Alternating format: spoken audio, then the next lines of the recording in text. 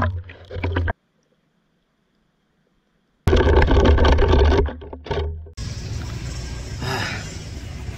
guys, assalamualaikum warahmatullahi wabarakatuh. Kali ini kita mancing ya, uh, eksperimen umpan kita buat sekarang.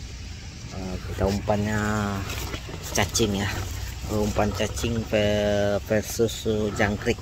Kita umpan cacing versus jangkrik kita buat sekarang. Hmm, lokasi mancing kita di sini guys, di sekitaran sini ya, di sekitaran sini kita mancingnya. Uh, yang dekat sayur-sayur itu guys dekat sayur-sayur kangkung situ kita nanti lemparnya ya. Uh, soalnya hari cuaca lagi panas kita lagi berteduh di di bawah-bawah pohon kecilnya. Uh, agak panas uh, cuaca sekarang nih.